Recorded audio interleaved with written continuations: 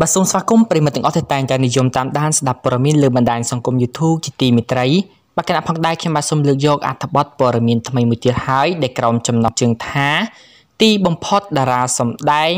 បាទផាន់ផាណាបាទចេញមុខបញ្ជាក់ការពិតថែមទៀតហើយរឿងវិញ្ញាណចូលសន្ធិដ្ឋកំពុងតែសម្ដែងស្រាប់ហើយបាទស្ដាប់ហើយគឺព្រឹសសម្បូរតែម្ដងបាទ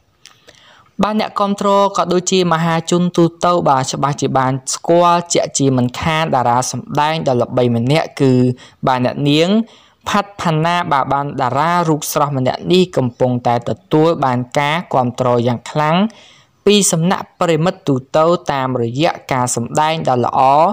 និងបាទសំអត់ខ្ចោះការពីកន្លងទៅរហូតបានលេចមុខក្នុងការសម្ដែងរឿងជាបន្តបន្ទាប់មិនដែលដាច់ឡើយ។ បាទហើយថ្មីថ្មីនេះតារាសម្ដែងបានស្រស់ស្អាតម្នាក់នេះបានបង្ហាញខ្លួនបាទថតរឿងថ្មីមួយទៀតហើយបាទអ្វីដែលគួររឹតឲ្យចាប់អារម្មណ៍គឺមានការភ្ញាក់ផ្អើលបាទជាខ្លាំងនោះបាទពេលដែលកំពុងតែថតរឿងថ្មីនោះបាទស្រាប់តែតារាស្រីរូបនេះបាទត្រូវបានវិញ្ញាណបាទចូលសន្ធិដ្ឋ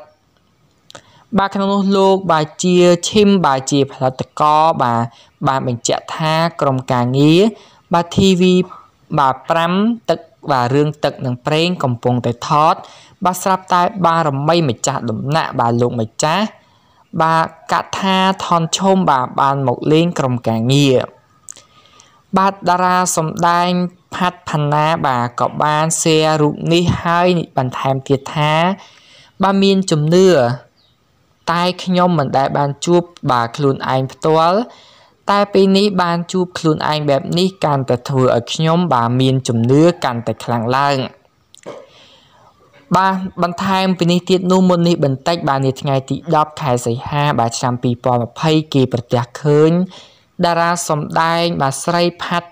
ផាណាបាទចេញមុខបញ្ជាក់ការពិតជាមួយនឹងក្រុមការងារតារា Free New បាទ Drama New បាទតារា New បាទ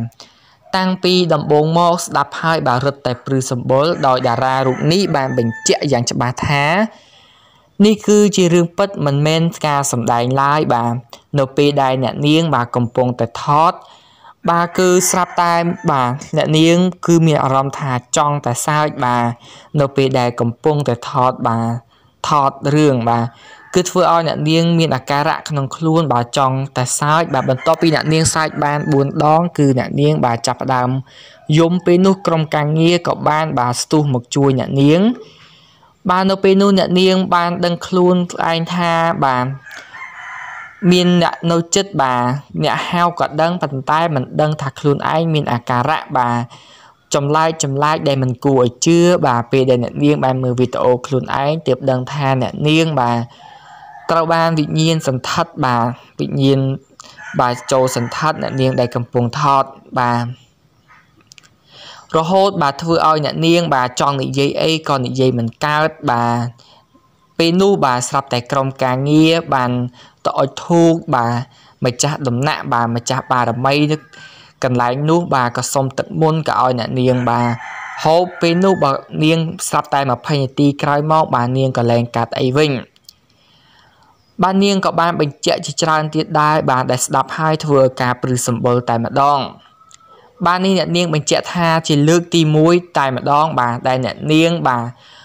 តែងតែមានជំនឿបាទជឿទៅលើបារមីប៉ុន្តែអ្នកនាងមិនដែលបានជួបប្រទះទេនេះជាលើកទី1ដែលអ្នកនាងផាត់ផាណាបាទបានជួបប្រទះដែលខ្លួនឯងផ្ទាល់ធ្វើឲ្យអ្នកនាង